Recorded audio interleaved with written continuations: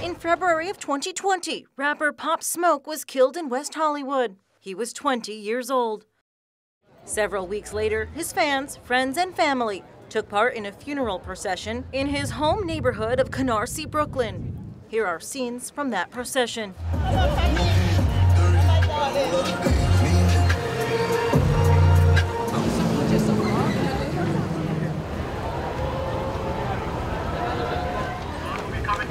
Down this block too. Everybody stand back.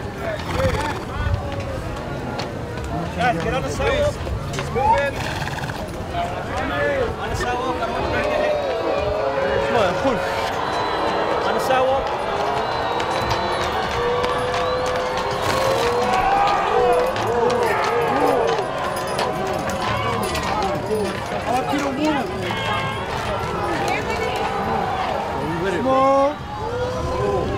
Yo, yo, yo, yo, hey, back up, brother. What up, what up? Long live the king.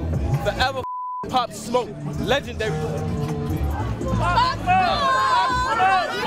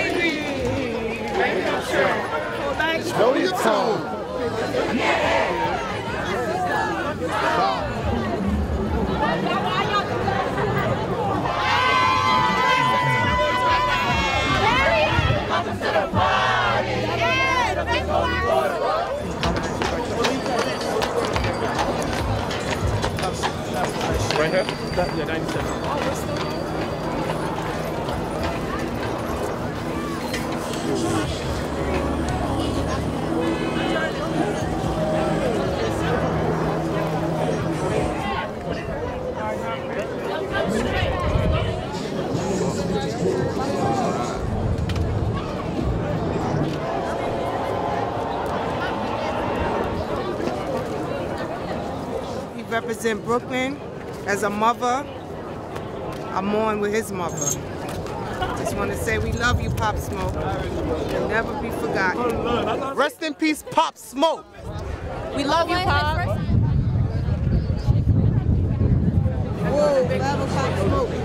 Stay cool, Pop. Canarsie where we at, Pop Ken. Smoke came on this block and said, yo, I'm gonna start rapping. Uh-huh. Pop did more than a lot for Canarsie. This is his community. Man, rest in peace, Pop Smoke, man. Like Pop Smoke was really a legend out here. I didn't know He did a big impact on the floors, You believe on music industry. He's forever be a legend. You cannot say Pop and forget the smoke. Long live Pop bro. Smoke, man. Facts. We knew you for a long time. We love you.